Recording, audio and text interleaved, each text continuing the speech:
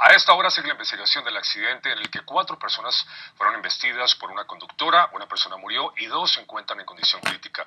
Ocurrió en Piskel, Nueva York. Esperanza Ceballos desde el lugar habló en exclusiva con familiares de las víctimas quienes hacen un pedido especial. Esperanza, buenas tardes.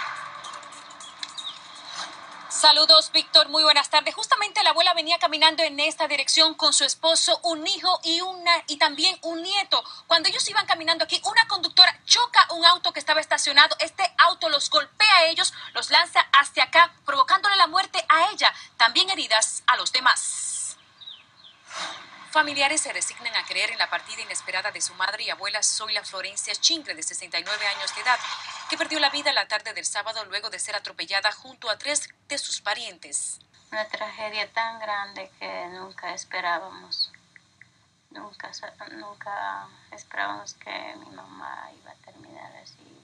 La culpa tiene el conductor que de seguro estaba en exceso de velocidad para ir a terminar chocando y levantando al otro carro que está parqueado y para que eso fue la causa de la, de la muerte de mi mamá. La víctima salió a caminar como todas las tardes con su esposo, una hija y un nieto cuando fue embestida en la avenida Hudson y la calle Washington en Pittsfield.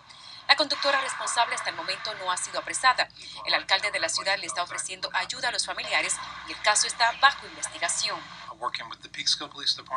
Estamos trabajando con la policía de Pittsfield y la policía estatal y la fiscalía del condado Westchester para determinar los cargos criminales contra el responsable.